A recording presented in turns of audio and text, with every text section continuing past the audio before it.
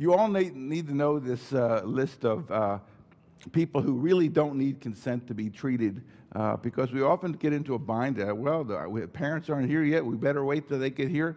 And one of the things that you should know absolutely across the board is that that doesn't matter in that EMTALA takes precedence. And EMTALA says that you need to do a medical screening exam on this little kid to determine if they're having a HCFA-defined medical emergency. And if that means that you have to scan this kid's head, you scan this kid's head. If it means that you need to do an ultrasound or blood study or something to that effect, it means that you go ahead and do it. And if you determine that there is an emergency, then you then proceed with the treatment of that emergency. So this kid who bumped his head in the schoolyard now has a, a bleed in his brain and needs neurosurgery. No parents are involved. You can just go ahead and do that. I, you know, that doesn't mean you don't make attempts to find them and do that kind of thing. But Feds say you don't need the parents in these cases. Then there's these other cases where you don't need the parents, cases of child abuse, pregnancy, uh, sexually transmitted diseases. Kids can get those taken care of without necessarily asking their parents. Substance abuse and some mental health disorders are also in this list of kids who can access their own care under certain circumstances. Then there's the emancipated minors. If you're married, you just got, uh, well, I guess you're technically emancipated in one way or the other. Uh, if you are working, if you're in the military, then you're an emancipated minor. You don't need your parents' permission for anything. And the third thing here, self-supporting and living on, on own is a reportable case. I don't know if you, any of you have children of this age or not, but that they, they, they never leave. They're over at the door with the suitcase. You know, the idea that uh, self-supporting, living on own, that's a tough one. Uh, you know, the tricks in, in taking care of kids is basically you never do the exam without the parents in the room so that the parents can be assured that you've done a really careful job on the kid. So the, the, you get the history, that's fine, but then you go through all of those motions, and the motions have words, and it says, you know, the eyes aren't sunken, Mom. I don't see any evidence of dehydration. Mouth is wet. Um, ears look good. I uh, don't see any evidence of an infection there. Look at the mouth, Mom. Look at my shoulder. There's nothing back there, really. I don't see any rash. Child's moving all its extremities well. the skin turgor is really good. Don't think there's any dehydration here. Look at the ch child moves all his joints well. The neck is supple. There's no evidence of meningitis kind of thing. And said, wow, wow, wow, what a good exam that doctor did. He didn't, or she didn't miss anything on that thing. Obviously, you need to have the right equipment, and um, that, that's, that's a no-brainer. Uh, inconsolable crying. This is one that happens all the time in the emergency department. Mom brings the kid, the kid will just not stop crying. Fortunately, when you, uh, most of the time, by the time the kid gets seen after a two-hour wait in the waiting room and taking out the waiting room, the kids stop crying. But there is a systematic approach to these cases that you need to do to make sure there's nothing serious going on. At the top of the list for inconsolable crying is colic. Um, it has a, formal definition. Three hours a day, three days a week, three weeks in a row, that defines minimum uh, colic. I know that some of your children have been colicky. It may last for months. And colic is a risk factor for child abuse. Um, and when that occurs, like shaken baby or something like that, the most, the, the, the number one suspect for this case in this setting is the mother's boyfriend, the mother's boyfriend. So you have to consider that. The kids pull up their legs. It, the implication is it must be hurting in their belly kind of thing. They turn red, and um, there's just nothing much you can do. You find that, oh, if I, I, I walk the child around. That seems to calm the child. We take the child out in the car ride. That, that might help. We put the child on the washing machine. That might help kind of thing. You know, all of these things to um, try to calm the child. We don't know that it's got anything to do with the intestine. So we tried this formula and that formula and this formula, that formula. Uh, the name is, um, is implies that there's something wrong with the uh, intestine, but we don't really know that. Anytime there's a lot of ways to take care of something means that we really don't know what the primary problem is. Then the trauma, you're looking for whether there's been any bony injury. Um, so you're feeling all around. Do I feel anything? Is there anything swollen? The joints move every all, all, all over. That's good. Have you ever seen this strangled digit business here where the mother's hair takes out the kid? Let me see a number of hands. Is this weird or what? So the mother used to, you know, before this kid was born, mother took care of the hair, a lot of brushing, you know, everything was just fine. And then this kid comes along, very disruptive. There's no sleep, there's no brushing of the hair anymore, kind of thing. So the hair says, hey, we need a volunteer. We need to take this kid out. Drop down on there and make it, and I would prefer the penis, if, uh, but you know, sometimes you miss, you go for the toe.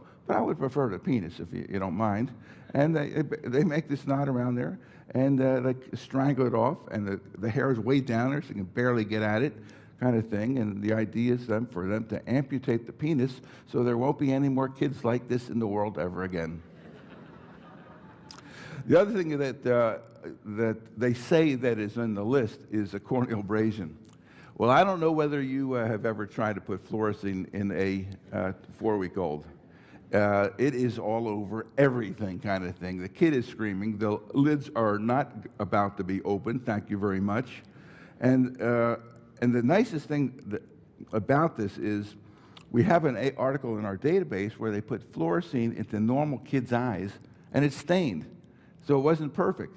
So the idea here is, is that even if you see something, unless it's pretty obvious, um, what are you going to do about it? The, the latest treatment for this stuff, you're not going to patch this kid's eye you know, it goes away, gives something for pain. Uh, if now that you and I basically occasionally get these things, we steal the bottle of uh, the patients can't have that bottle. It's like, oh, very dangerous, going to rot your eyeball, but it's in my pocket. Uh, because we, you know, they're painful, that they don't respond very well to uh, things like uh, analgesic, um, oral analgesic. So you take the bottle. There's a great study in our database actually where they took proparacaine diluted it by, by a factor of 10 by, by, the pharmacist, labeled it, take a couple of drops every three or four hours. Worked wonderfully. They compared how much analgesic the patient wound up taking. It wasn't an issue at all. 10 to 1 dilution of proparacaine. That was it. I think that that's where we're moving in this stuff. In any case, we're looking for these sources of pain in a child. So there's some infections. You know an earache can hurt, so maybe that's why the child's crying. You uh, gastroenteritis, you got cramps kind of thing, maybe that's why it's crying. Meningitis. You know, one of the nicest things about pediatrics is they don't, they don't seem to get sick anymore. They have been immunized against everything. Um, when's the last time you saw a pediatric meningitis case? And if you did, it was probably an unimmunized child. The uh, meningitis now is uh, the 25-year-old in college who didn't get the meningococcal uh, vaccine.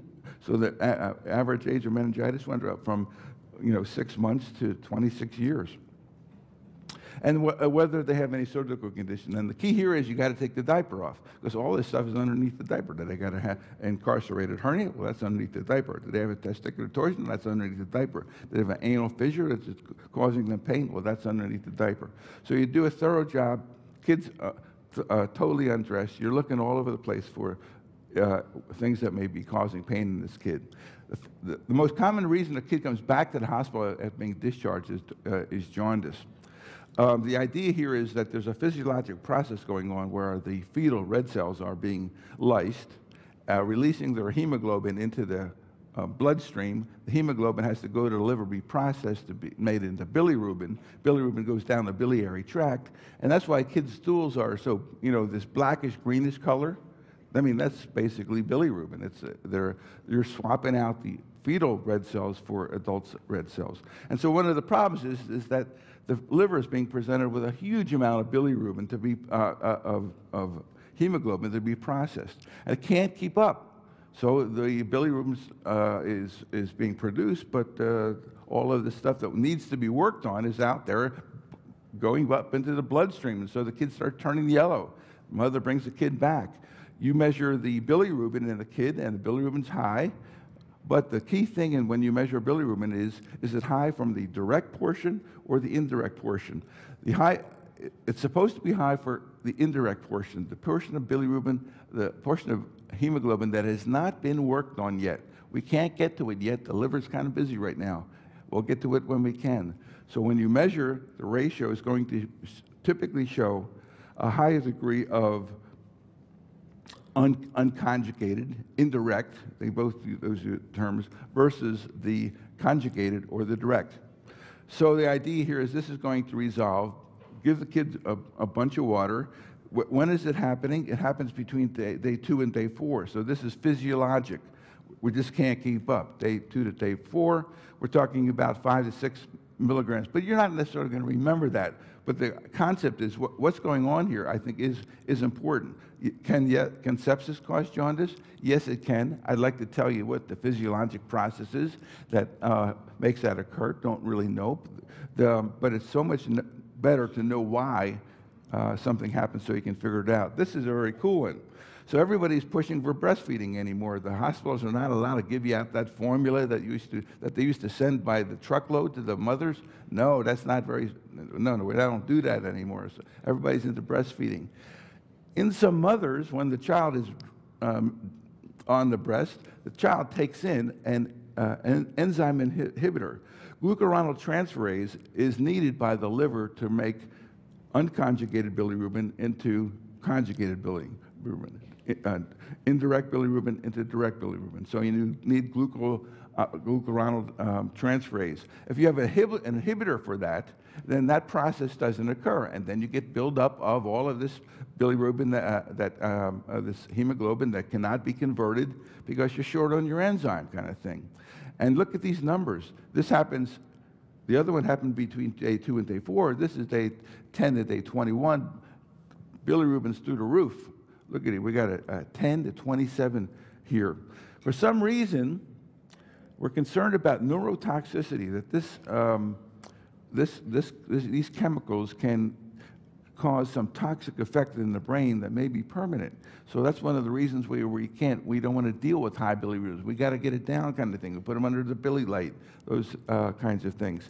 Well, uh, just so happens that in this case, the elevation of bilirubin is not associated with, kernicterus. And so in some cases, you don't have to stop breastfeeding. If you, if you do stop breastfeeding, the numbers will drop precipitously back into the normal range. So there's a little chart there about when you would put a kid underneath the light uh, who has um, elevated bilirubin, and that, you know, this is obviously, there's a key going on to, to the neonatologist. You're going to get some help on this. You don't necessarily going to do this on your own. But th that's the chart about when they think it ought to be done based on the kid's age and the height of the bilirubin. Screening test. Here's the quiz, here's the quiz question. Um, this is for when our board review is being done, and we say, here, you better know this. So you measure the uh, total bilirubin, and you have it fractionated into the direct and indirect. And uh, the direct and in indirect appear to be about the same. Well, that's not really the way it's supposed to be.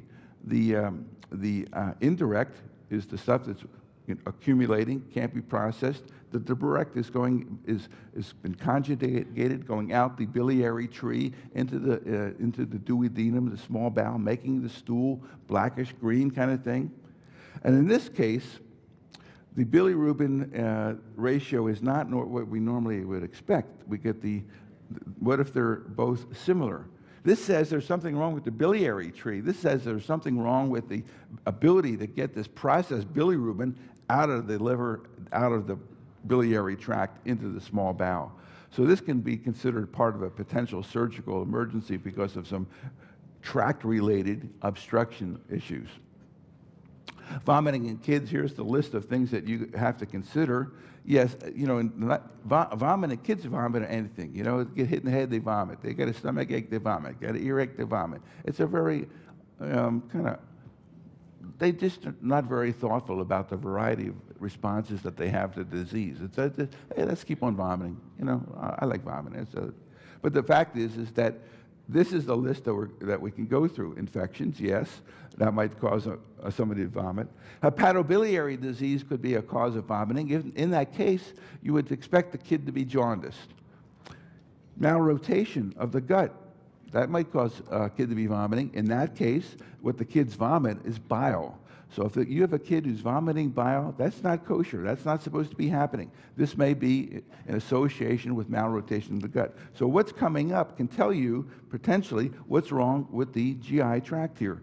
Uh, pyloric stenosis, we'll go through that separately. Incarcerated hernias, you, need, you know that, but you got to get that diaper off. Uh, shaken baby, this is the, this is the boyfriend again, um, or, or babysitters. One of the things that um, It's so important to pick your babysitters carefully. Um, you can't, anybody who's got a little bit of a hot temper, they are automatically not your babysitter. In any case, uh, shaken baby has been associated with um, uh, causing vomiting because, you know, the, the brain's getting uh, racked around a little bit. The miracle drug is ondansetron. There's, there's the two versions of it. There's a weight-based and an age-based uh, dosing of the ondansetron. To tell you the truth, there have been studies looking at how, is, is ondansetron the miracle that we once believed that it was? And it's okay, but it's not actually, actually fabulous. Diarrhea in kids. We get into this thing where um, diarrhea, we want to cause, what's, what's the cause of it? It could be diet. Yeah, that may be an issue, but we're concerned about infections. In the wintertime, there are the viral infections, the rotaviral infections and its, and its cousins, and those are mostly gone away, so there's even one less disease that the kids are going to have. And during summer, kids get diarrhea that maybe tends to be more bacterial. The, the bacterial versions, the staph version. The staph version, we know in terms of its manifestation. This kid had some potato salad, he had some eggs, he had some uh, whipped cream, and within th three or four hours, this kid's got diarrhea. And um, how can that be? Uh, it came on so quickly. Staph makes exotoxin. So when you have staph and you ingest staph, you're also ingesting the exotoxin. The exotoxin is what does the job. So you don't have to have a lot of multiplication of your staph to make a big, big, big, big uh, bunch of it because this stuff is, the staph is really not the, the, the problem. It's the exotoxin, which came with it, which is resulting in very on, sudden onset of diarrhea. The uh, bloody diarrheas, the, traditionally Salmonella and Shigella, yeah, they, they, they still exist, absolutely. I remember seeing a kid who had a high fever. Shigella is unique in that it, part of its pathology is to, uh, is to pr provide you with some neurotoxins, neurotoxins. So you get a kid who's got 103 fever with Shigella, it's very common for those kids to seize because this neurotoxin, it's not just the fever, it's the neurotoxin plus the fever. And so I remember specifically a kid that came in, febrile seizure, you know, this uh, didn't, didn't look so good, baby, we, uh, we need to do a spinal tap. You get the EMT who takes the kid and bends him into a horseshoe kind of thing. And uh, just as it was, was done like that, it, this guy squirted out the sample we were really looking for. It, it was the bloody diarrhea. He squirted it right out of his butt. We continued on with the spinal tap, however. As a total aside, total aside, um, sometimes people get aggressive when they do spinal taps in terms of holding that baby so it doesn't move around. Um, there have been more than one cases of babies having spinal taps. They're draped all over. You got the big EMT who's done, done doing the horseshoe move, who when that spinal tap is over, the baby doesn't move because the baby is dead. Have you, have you heard of that? These incidents? Yes. These, these, people, these babies are just so constrained and made into a U that they basically uh, can, are, can un, cannot breathe they take the gowns off. Would you not just freak if something like that happened to you? So the idea here is not to be particularly aggressive in trying to limit the, these kids from making any possible motion. Um, leading causes of blood in the stool, um, cow's milk intolerance is on, the, is on the top there. So you, you can experiment a little bit. A lot of time we don't know, honestly, we don't know what the cause is. But if the kid looks well, is, eating, is happy kind of thing. We don't make a big deal of it kind of thing. If the kid's sick, we might pursue that. Uh, so cow's milk intolerance, so they can get one, another one. Uh, anal fissures. The one that I think is the most wacky of all of these is the idea that this kid is sucking like a Hoover vacuum cleaner on that mother's breast and is causing all kind of cracks to open up and large quantities of blood are being sucked out of the mother's nipples kind of thing which nobody apparently can see, uh, you know, it's a secret kind of thing. And there's so much blood being sucked out of that mother that it causes uh, black stools, bloody stools. It's like, does that make any sense to you? No, it doesn't. So that, that one, we're junking that one. Pyloric stenosis, this is a fun one. Basically, this, these are these white boys, uh, Northern European kids who have this, they eat vomit aggressively. Eat, vomit aggressively. Nothing's going through, so they're starving. Eat, vomit some more, kind of thing. You feel around the belly. You feel the the uh, feel the olive there. That's pretty cool. You made the diagnosis. Get that ultrasound machine done. Your, your, your part is over. In Japan, they give these kids weeks and weeks of atropine. Uh, here, we do surgery. Intussusception is the most common cause of a bowel obstruction in an older child. This is basically when one portion of the bowel invaginates into the other. And where does it occur most often? Where the small bowel meets the large bowel. We would like to ha uh, um, uh, have a lead point be the source of the invagination to occur. Meckel's diverticulum uh, might be one. Um, even things like a, a purpura, a purpura, like Henoch Schönlein purpura has been associated with, uh, in, a, uh, intussusception. And when they did that stuff, that rotavirus, diarrhea, um, those shots or rotavirus, well, they would cause lymphatic hyperplasia of the bowel wall. And as soon as anything pooch, pooched up above the level of the normal bowel, little uh, lymphoid hyperplasia there, and that pulled that thing down. So that was basically viewed as the pathophysiology. You had a tube within a tube, generally small bowel into large bowel on a vertically oriented tube on the right side. You can often palpate it. The uh, ultrasound basically shows a, a ring, a, whole, a, ring within a ring, as, as the pathology is. And um, one of the unique things about this, and I don't know if you've ever seen this, but in these kids who have this, they seem to be in a lot of pain. Well, it could make sense why they would have a lot of pain.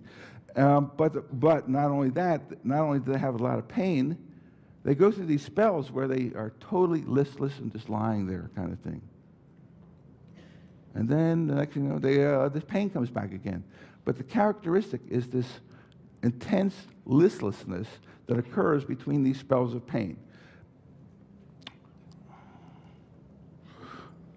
ALTEs are uh, basically not diagnoses. Something happened to the baby. The mother runs into the emergency department. My baby's not breathing. My baby turned blue. My baby got stiff. My baby's floppy. It's some kind of condition like that. Um, ALTEs had been thought to be precursors of sudden infant death syndrome. That is really being effectively challenged now. I mean, it, it seemed reasonable, but things that seem reasonable are not always reasonable. So um, there's a great case that says no, ALTEs did not precede SIDS. In any case, so you might want to twi twist that a little bit there. When a, when a kid has these, you've got to consider the potential causes. And one of the easy ways to kind of go down this list is if the kid had something at home and, and is now fine, there's a list of that. The kid had this spell at home and is now still not fine, still looking sick. Well, obviously, if some spell occurred at home as a result of a CNS infection, this kid is not going to be playing the glockenspiel in the, in the emergency department. This kid is going to still look sick uh, because he has a CNS infection. Um, on the other hand, a kid had a seizure at home, and now the seizure's gone. This kid's looking fine. That helps this maybe to help us distinguish what are the causes of this kid's spell. Gastroesophageal reflux, you would generally think, nah, nah, forget that. This is the most common cause. They regurgitate um, gastric acid onto their vocal cords, causes them to clamp shut. They're turning blue. They're sputtering. They can't breathe. They're struggling like mad because of this stomach acid got onto their vocal cords and caused this horrible uh, reaction. Intracranial hemorrhage. Intracranial hemorrhage is not good uh, if the kid's going to look bad at home and the kid's going to look bad at the hospital. Botulism, we remember about botulism, if this is a top down, remember Guillain Barre is bottom up, this is top down. So the kid's eyelids start drooping down kind of thing. Um, the, the access to the spores, mother's breast, kids under one get no honey. That's just uh, to, to, prevent them from getting infantile botulism. They feeble cry, don't move, you know, they're kind of floppy baby kind of thing, infantile botulism. Airway uh, problems, yeah, if there is, if you can figure out a cause for an airway problem. I gave you a cause for an airway problem through gastroesophageal reflux. Low sugar, um, why would a kid get low sugar kind of thing? Uh, when we get into a little further on, 9% of kids who have gastroenteritis are hypoglycemic. And, we'll, and because basically their liver does not have the capacity to store large amounts of gly uh, glycogen, which is then broken down into sugar when they need it. So they don't have much in the bank. So 9%. Do a, do a finger stick because you, you cannot predict who those 9% are, 10%. So once you find somebody who's got a sugar, sugar in the 40, then you got a kid who has gastroenteritis, uh, um, not eating, and is hypoglycemic. You, got, you have a, a, new problem to take care of because the longer kids are hypoglycemic, the more there is the potential for, for permanent injury to their CNS. Sepsis, fine. There's the, that battering again and uh, ODs to consider and Munchausen, where the mother makes the kid sick and brings it to the hospital, some su super psychological pathology. And lastly, we don't know. Simple febrile seizures, uh, basically six, to, six months to six years. Generalized, short, they say five minutes. Five minutes is an eternity. Now, these things are generally like a minute. You've, you've seen them. There's a, they're bilateral kind of thing. The kids recover quickly. They're running around the apartment, uh, torturing every, uh, uh, everybody there. Uh, there's no residual Todd's paralysis, where after the seizure they can't move an arm or leg. That's not there. And by definition, you cannot have a pre-existing neurologic condition in a child who has, uh, is being said to have um, a simple febrile seizure. The, the theory is, is that this is not about how high the temperature gets, but how quickly it gets there. So it went from 100 to 104 in an hour, bam. That's, that's the stressor.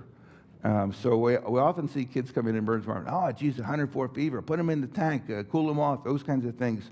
They've already gotten to the plateau. The likelihood of, you, uh, of that kid seizing is very, very, very small. And this is also the reason you really can't prevent febrile seizures because the kid's fine. You, know, you're not going to give them a, a Tylenol every uh, three hours for the rest of their life kind of thing. So, the, so by the time this spike occurs, kid's seizing, you didn't even know it happened. So this idea of trying to give prophylactically uh, antipyretics just doesn't work. It, it, does run in families, absolutely. So this is one of the reasons not to marry your cousin from Kentucky. Uh, because, and in fact, sometimes it happens so often in families that the parents aren't freaked by it. Some of the parents are absolutely, my kids, you know, turning into the devil or something. And the other kids, they, they, they, they're just used to it because that, that happens in their family. This is a, one of the things we took out of this manual is a whole bunch of references to get, you better have the doctor see this kid. But we, this is, there's a couple left in here, and this is one of them kind of thing. Uh, the, um, this one, the next one. Complex febrile seizure. Again, you're not allowed to have any pre-existing neurologic condition in this kid. This seizure lasts 15 minutes or more. It stops and restarts, stops and restarts. It can um, uh, be unilateral. Only the right arm and right leg are seizing kind of thing. That is a complex febrile seizure. Needs a workup, needs a workup. Here's other causes of seizure that are unrelated to, um, to fever. Hypoglycemia, well, I just mentioned the uh, gastroenteritis. That's a cause of hypoglycemia. Um, stick that, do that finger stick in that little bugger. Low sodium. Uh, where would low sodium come from? It comes from the mother. The mother water intoxicates her parents because she listens to, to the advice that you gave her. I wasn't going to characterize that advice about drinking lots of fluids. So we're going to have Johnny drink lots of fluids. It's going to be water.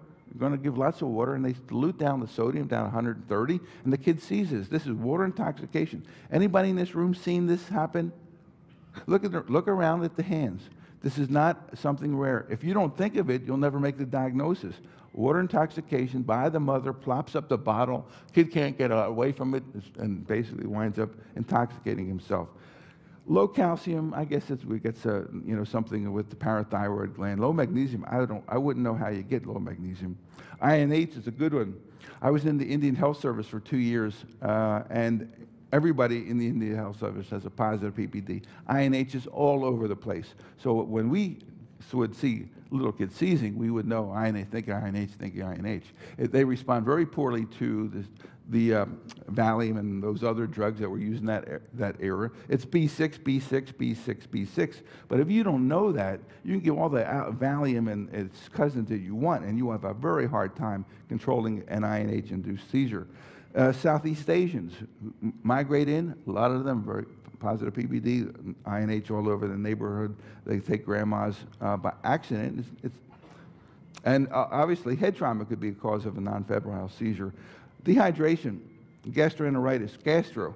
We want you to use this word uh, technically correctly. Gastro, gastro means uh, stomach. Uh, enteritis means bowel. So this is vomiting and diarrhea, gastroenteritis, vomiting, diarrhea. It's not really an itis necessarily. You know, we have, we're kind of sloppy with that term. Person has osteoarthritis. Osteoarthritis is not an inflammatory arthritis. We, we just tacked on that itis on there. Uh, we ought not do that. But in any case, here's the reasons kids may not eat. Well, they're sick, they got a virus, and uh, they're, they're vomiting and diarrhea, they got gastroenteritis. But, you know, what about all these painful little sores that they get in their mouth? And Johnny doesn't want to eat. And diabetic ketoacidosis is absolutely a cause for um, dehydration. The sugar goes up. The sugar basically goes out the kidney. The sugar cannot go out the kidney as powder. It has to take water with it. So the kids become dehydrated. Febrile illnesses, you burn up uh, some of your flu uh, fluids under, under that setting. And again, sore throat, pharyngitis, not, not swallowing. And then there is this intensive list of other things. I don't want to go through this, this picture particularly. I want to go through this. The idea here is to back off on trying to make this an exact science. Just use your judgment. Go down that list and say, these are the things that I know are associated with dehydration. I'm going to make an assessment uh, whether this kid is not dehydrated, mild, moderate, or severe. I don't care about percentages or uh, those kinds of things. I'm just going to feel the skin, look at the tears, you know, those kinds of things. When's the last time he peed? Is it, what's the pulse rate going to, and I'm going to make a decision. Ah, I think it's mild. Ah, I think it's moderate. It is very uncommon to have a kid who's got severe dehydration in the United States of America. So I'm going to do a little bit about, about uh, fluids. The only kid who gets IV fluid supposedly properly is the kid who's severely dehydrated. All the rest get the sippy diet. So says the American Academy of Pediatrics, the CDC, and the World Health Organization. One of the things that we are known for in this country is, uh, is prematurely starting IVs in kids who are dehydrated. Uh, it's a painful process. You miss a few times, you know. Okay, let's get the Black & Decker bone thing out because I can't get the IV in. Uh, no, sippy diet, 5 mLs every five minutes. What is the success rate of the sippy diet? Has been carefully studied. A meta-analysis showed the success rate is 95%. Throw in a little ondansetron. It's going to uh, it's going to help you out a little bit there. Check that blood sugar. How much fluids? If you want to read a good article on this, American Academy of Pediatrics 2009, excellent, uh, uh, oh no, this is AAFP, 2009 guidelines on fluids. Mild dehydration, 50 mLs per kilo. Moderate, 100. Severe, basically 150, but it's kind of how do you give that 150? Well, you give the first 50 in these 20 ml per kilo boluses.